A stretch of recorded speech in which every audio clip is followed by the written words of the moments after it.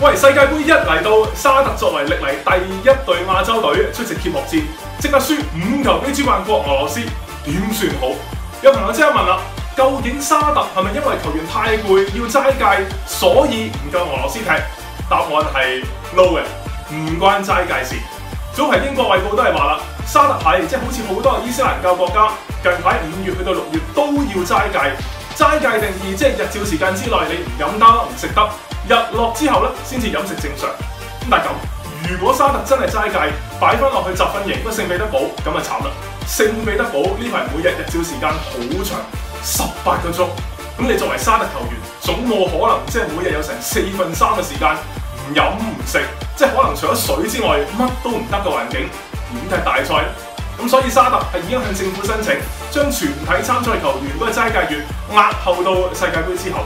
當地好多市民都係類似咁，譬如話啊旅行，我就係旅行嘅，旅行後先至係開始齋戒。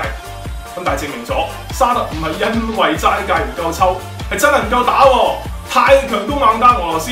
沙律嚟緊世界盃，我一於多啲留喺度同大家傾偈。有留言有要求，等你喎，世界盃嚟啦喂！